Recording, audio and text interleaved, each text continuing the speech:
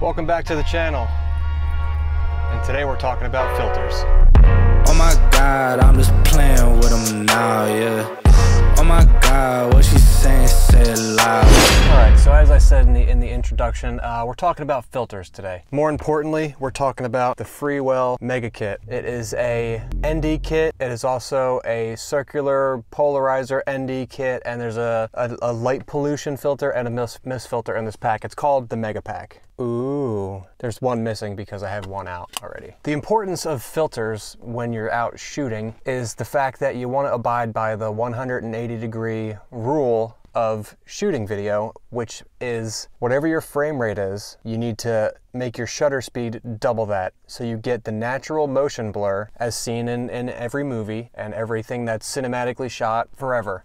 So if you see my hand like this, right now my shutter speed is 150th because I'm shooting in 4K 24 and that gives you that natural motion blur and it just makes everything look way more cinematic and it lets your camera perform to its like maximum capability. So to achieve this, you got to think of your camera lens as an eyeball. When you go out in the sun, generally, what do you do? You put on some sunglasses, dude. It's the same it's the same scenario and there's varying grades of ND filters. It goes from I believe, let's see. Let me just run through the pack. We have ND8, ND16, ND32, uh, ND64, uh, ND128, 256, and ND1000 if you're going to be on the surface of the sun. I don't know if I'd ever use a thousand. That's a lie. If you're going to do like a, um, a long shutter time lapse, that's when you would put the 1000s on there because you got to let the shutter stay open, but you want to still expose it properly. So that's an application where you would use that. On a day like today, the sun's just like out. I use an ND64 and it usually does the job. Um, you could go up to 128 and just let your ISO like make up the difference if it gets a little too dark, but at the same time, you know. Moving on along in the kit, polarizers. And if you don't know what that is, um, it basically takes the reflection out of glass and or water. So if you're looking out the front of the vehicle, if you're filming in a car, or if you're outside of a house looking in the windows, it gets rid of all that glare so you can see straight through. I'm gonna spin the camera around, put the ND64 polarizer on there, and I'll show you what, I'm, what I mean. All right, ready? Here we go. Okay, so here's a good example of the polarizer in action. You see how right about here, you see the, uh, reflection of my dash in the image. If I um, there's a little ring on the outside of the filter, and if you rotate it, you can see that the glare goes away. Right now we have a, a ND64 polarizer. I'm going to take that off for a second, and you're going to see how bright it is. These things are so tiny though for this Pocket 3, man.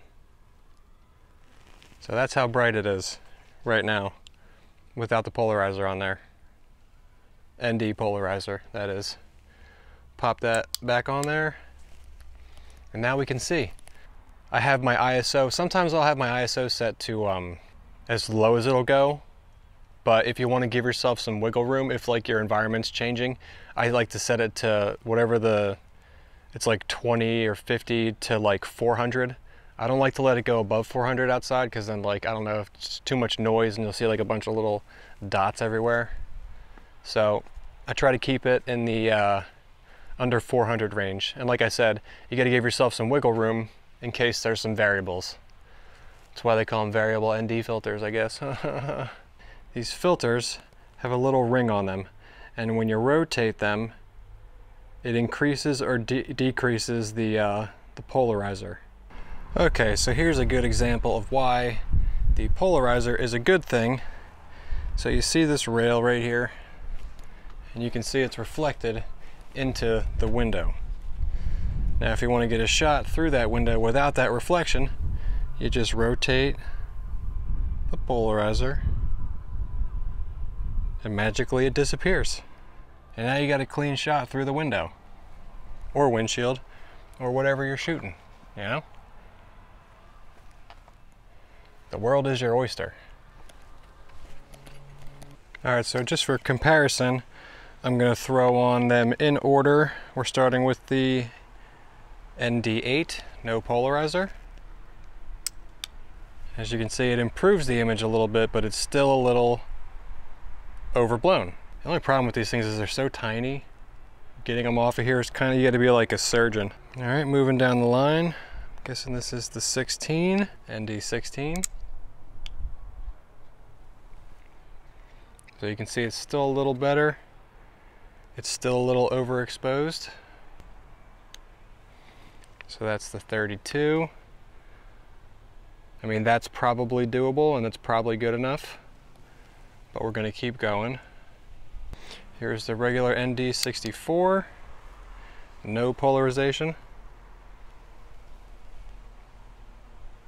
Always have a little bit of fingernail so you can get these bad boys off of here. Here's ND128.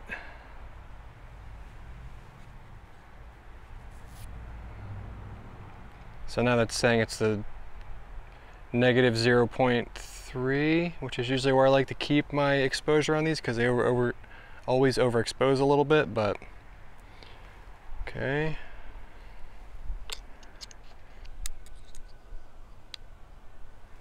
Two fifty six. So now you can tell it's probably looking the same because the ISO is compensating for the darkness, so it's probably gonna, you know, start working its way up.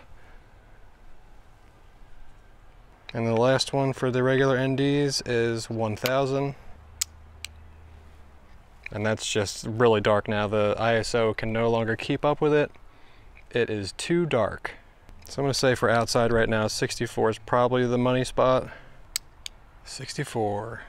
Another thing I'd like to note with um, with these things is always carry, I don't have it, it's in my truck right now, but always carry like a little microfiber cloth for like your lens cleaning because every time you take these things out, you're probably gonna get a fingerprint on them because they're so darn tiny. So you're gonna wanna be uh, keeping them clean. So, man, my wife's lipstick. Wonder how long this has been sitting out here. So what did we cover today? We covered the 180 degree rule, double your frame rate to your shutter speed, ISO, pick your poison. You can let it go above 400. I don't like to do that. I like to keep it at 400 max.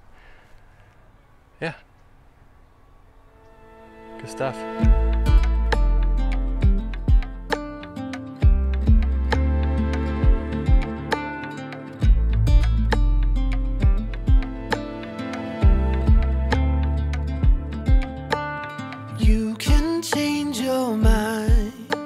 It's like the ocean moving over time, however slowly. We're always shedding our skin, casting off all of our sins, leaving our luck to the dying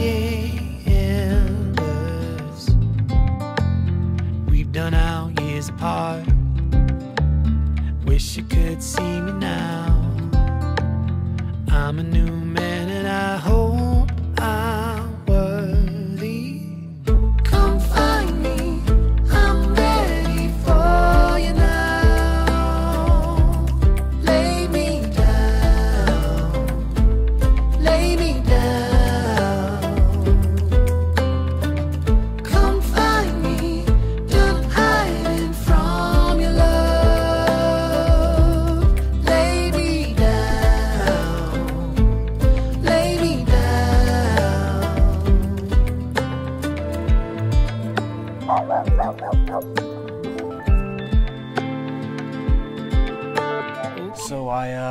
forgot to end the video earlier, but um, the Freewell Mega Kit.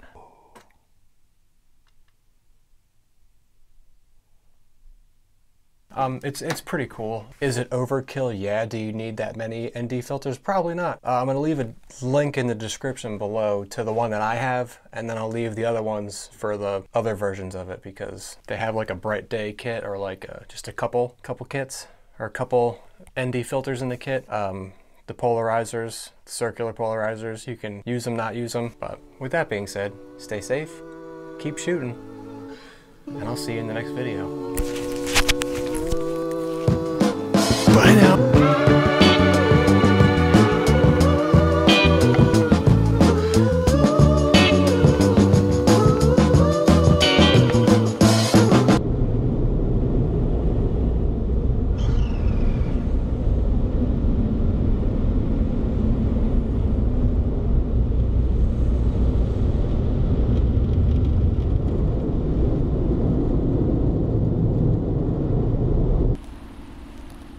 Hello, and welcome back to the channel. Today we're talking about filters. Uh, yeah, boy. This shot is terrifying, so I'm gonna pull over so my camera doesn't fall off the fucking windshield.